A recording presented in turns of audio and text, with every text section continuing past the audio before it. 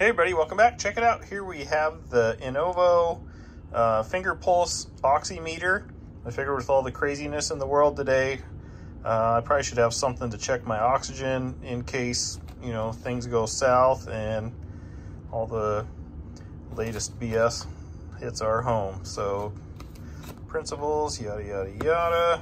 Link will be down below in the description. Here's the tech specs if you're interested in that.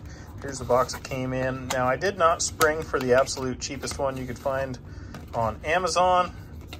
Um, I don't know, you know, how do you how do you make do with kind of the hit and miss reviews on those things? But uh, so here's what you get in the box. Comes with two AAA's. We've got the unit. In here is a lanyard for some reason. So it comes with some information on what to do, what's normal, blah, blah, blah. Of course, always, you know, do your own research on this stuff. But here's how you do it. Thank you for your purchase, warranty, how to activate the warranty finger pulse oximeter. Here's a whole bunch of information, the manual stuff. Uh, I'm not going to go through all that stuff, but this isn't actually a really huge thing. But um, let me let me open this and we'll scan it real quick. So this does goes through like some settings, front panel, what's on there. Um, here's some of the setting things you can do for alarms and this and that. Precautions for use um, kind of info on how to use it, what might cause inaccurate readings, using the lanyard, maintenance and storage, yep, that kind of stuff. On the back is a whole bunch of information. So um, let me get the batteries in there and we'll uh, show you how it works.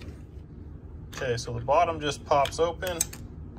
Here's where your batteries are gonna go, like such. And you're gonna put your hatch back on, your battery cover.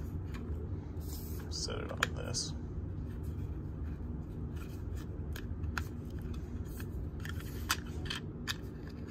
I'm trying to do this real quick, one-handed, a little bit of a struggle. Eh, let's get this garbage off of here so we don't need that. Finger out. Well, smart enough to know your finger ain't in there. That's pretty cool, hey? Let's see if I can get that in there.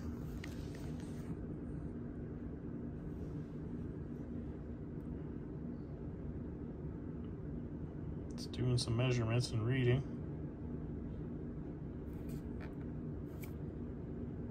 How these things actually work kind of is mysterious magic to me, but doing its reading. Go. There's my, on the left is my oxygen. On the right is apparently my beats per minute. And it just keeps reading and reading. That's pretty cool. All right, just got home from work. Let's get a little test here.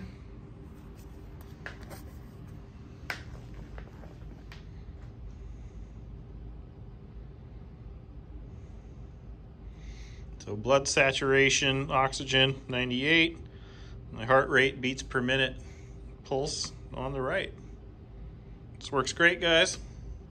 Whenever we get the Rona, we'll kind of know, you know, when it's time to go to the hospital if we have an issue with our blood in our or oxygen in our lungs. So hope you find that interesting. Links down below in the description. Um, look at that thing shoot up.